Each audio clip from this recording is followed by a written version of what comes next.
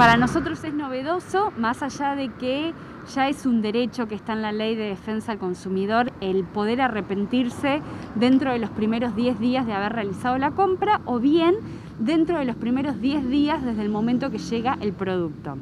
Esto en realidad está dispuesto para todas aquellas compras que se hagan en forma online o bien telefónicamente, ya que al no tener una la oportunidad de ver el producto, medírselo, probarlo y ver las características del mismo, esta es una opción que está en la Ley de Defensa al Consumidor.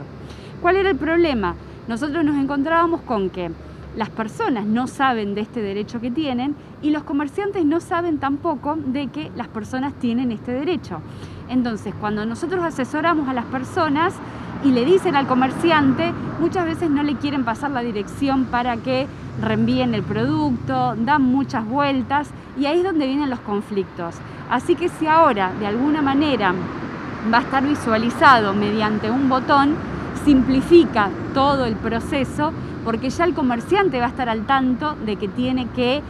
o, por lo menos que tiene la opción de tener que devolver el producto, y lo van a saber también los consumidores de que ante eh, la posibilidad de que a lo mejor el talle no sea el indicado o el producto no sea lo que ellos realmente veían en las fotos, tienen la opción de devolverlo. Así que bueno, esperemos que lo implementen porque después nos vamos a encontrar con esto de que a lo mejor muchos comercios no lo implementan. Así que ahora que está todo el auge de las compras online, me parece una buena iniciativa para avanzar en lo que son los derechos de los consumidores.